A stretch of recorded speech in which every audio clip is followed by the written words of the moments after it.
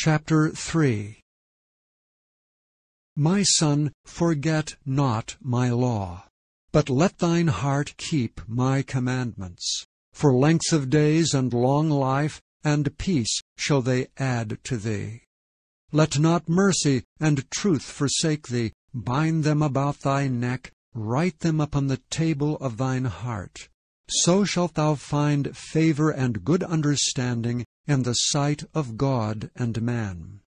Trust in the Lord with all thine heart, and lean not unto thine own understanding. In all thy ways acknowledge him, and he shall direct thy paths. Be not wise in thine own eyes. Fear the Lord, and depart from evil. It shall be health to thy navel, and marrow to thy bones. Honor the Lord with thy substance, and with the firstfruits of all thine increase. So shall thy barns be filled with plenty, and thy presses shall burst out with new wine.